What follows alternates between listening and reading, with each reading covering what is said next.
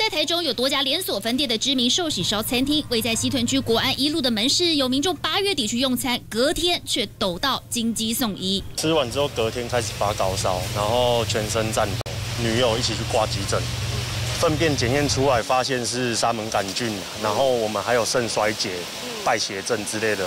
并发症对，验出沙门氏杆菌，医院紧急通报食物中毒，但不止对食材新鲜有疑虑，当事人许先生对店内环境也给负评，请他们送了第四个锅子，里面用湿纸巾擦都还是有漏血呀什么的，漏膜都没有洗干净。更令许先生不满的是，他和女友都住院了，女友情况严重，还住了八天，但店家送来的慰问苹果切开却早就烂了，而且是每一颗都烂透了，既没心又没诚意，让他火上加火。他说我们已经食物中毒了。然后还要我们。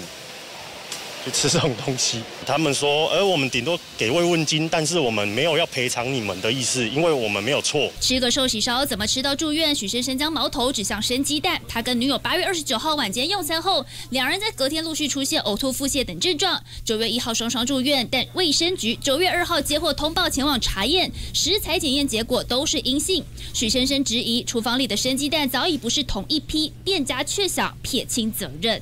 他的质疑这个我给予尊重。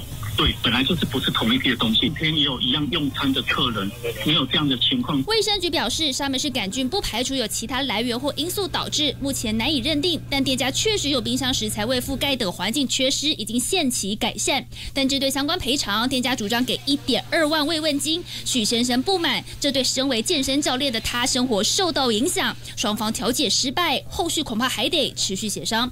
东森新闻张九汉、张逸云采访报道。